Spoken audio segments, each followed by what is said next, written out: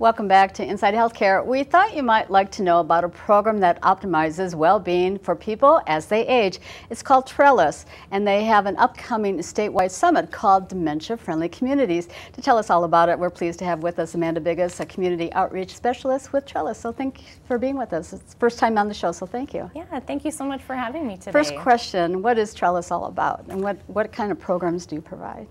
Trellis is a nonprofit organization, and we serve older adults and caregivers with programs and services uh, that help people age well, basically. Uh, so we are the area agency on aging for the seven county metro area. And as you said, our main goal is to help people optimize well-being as they age. So um, what that means, um, you know, is basically just providing resources and support for people in the community. And we do that um, a variety of different ways. So we have many different programs. And one of those programs is the Senior Linkage Line. I've heard of it. Yes, yeah, I'm glad you have. Yes. Yeah. Um, the Senior Linkage Line is a statewide service of the Minnesota Board on Aging. And it's a free information and assistance line. So um, older adults, uh, family, caregivers, anybody can call the Senior Linkage Line. Um, I get the question very often, how old do you have to be to call the I senior linkage ask line? You that question, yeah. um, and you know, there's no age limit, so anybody can call the senior linkage line, uh, whether you're calling uh, for yourself or on behalf of a parent or a grandparent. Uh, we sometimes even have organizations that uh, call on behalf of somebody that they serve in the community. Uh, so it's an information line, and our specialists on the line are available Monday through Friday uh, 8 a.m. to 4.30 p.m. to answer questions or uh, give resources on so all things. Oh, I was going to ask, yeah. what kinds of things? Yeah. Yeah, so all things related to aging, um, Medicare help, uh, financial assistance, transportation options, um, housing assistance, um, you know, eh, caregiver support. So, uh, you know, if you're somebody who's taking care of a loved one, you can call the senior linkage line uh, if you're looking for respite or a support group. Uh, so uh, basically, all things related to aging. Um, and I think last year in 2020, we had almost 100,000 uh, points of contact with older wow. adults and caregivers through the senior linkage line. Wow. So it, it really is a great it's a really good program. community service and then. Yeah, yeah, So, and then I had mentioned also that you have an upcoming summit on dementia friendly communities. Yes, yeah, so that's through our Act on Alzheimer's program. Uh, and through the Act on Alzheimer's program, we enable people in their community to become more dementia friendly. Um, so basically, you know, we know that people with dementia can have a high quality of life, but we need to do the work in the community to make sure that um, you know, our dental offices, our airports, um, you know, the bank, the grocery stores, those places are dementia friendly. Be able to identify signs of dementia um, and know how to communicate with somebody uh, to help them have a good experience and, and thrive in their community.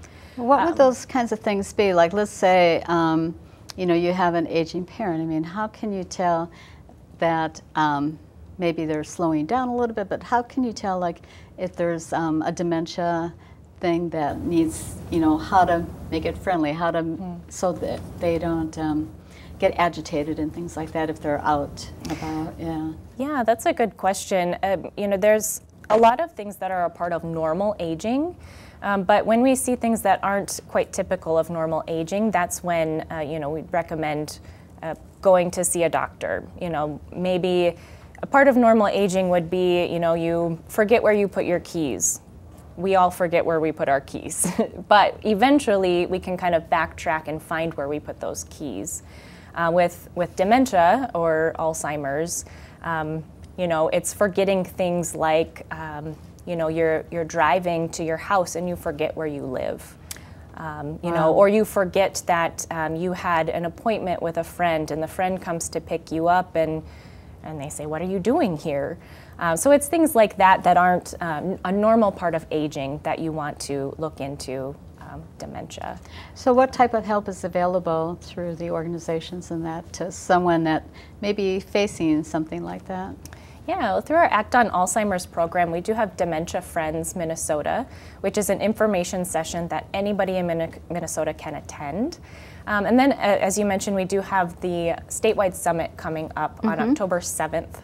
Um, and that's going to shine a light on all of the really great work that's been done to make Minnesota more dementia friendly uh, over the past year, despite the challenges of the pandemic. Um, it's been very difficult. I, I can imagine. Yeah. It's been difficult for anyone, but especially for someone with dementia. Absolutely, yeah. So you know, we're we're really just um, you know we're going to be talking about new initiatives. Um, like I mentioned, the the dental offices. There's training being done from the um, front desk staff to the hygienist to the dentist. All to make that experience much more dementia friendly. Um, so, kind of these really invasive, um, you know, scary experiences for somebody with dementia, turning in, into a positive experience for them. And you said this is a free statewide summit and it'll be virtual? Yes, it And is a anyone can participate? Anyone can participate. Yes. So um, caregivers, professionals, um, students, uh, and you can register on our website trellisconnects.org. Um, and uh, that's on our homepage of the website. It's right there to find out more information and to register. And um, it really is for anyone. Yes, yeah, Yeah. anybody can attend. And again, the date and the time? It's October 7th. Um, I believe it's a, an all day uh, event. It might start at 9 a.m., but not quite sure on that time. But October 7th is the date. So why is it important to have trellis? I mean, in our, you know, in our state and stuff like, what is it all about? Why do we need that? Yeah. Well, Trellis is an innovator and thought leader in the field of aging. You know, we are striving to meet challenges and opportunities um, of an aging population, and you know, we're doing this through partnerships and through programs. And you know, we know that people age 65 and older uh, are the population is growing at a, a pretty rapid rate. Um, you know, there's 890,000 Minnesotans who are 65 and older. Are there really? Yes, and 70% of that population is in the Twin Cities metro area. So, you know, as you can imagine, you know, that number is, is quickly surpassing school age children. You know, it always was, you know, the population of school age children was our largest population. And now, you know, that, um, that group, 65 and older, is growing. And understandably, idea, yeah. yeah, it's, it's putting a, a strain on aging services, um, you know, the resources and supports of aging services. Um, and Trellis is, is really striving to bridge that gap between healthcare and social care. Um, you know, we know that aging is not a one size fits all solution. You know, there's many different things that um, you know somebody can define as aging well. Uh, one thing that works for somebody might not work for somebody else. Um, so we know that um, you know things like access to good health care, being able to pay rent, having food available, those are all very important things. Uh, but we also know that things like um, social connectedness and life enrichment activities, those are also very important. Absolutely, yes. I, I really noticed that, especially during COVID.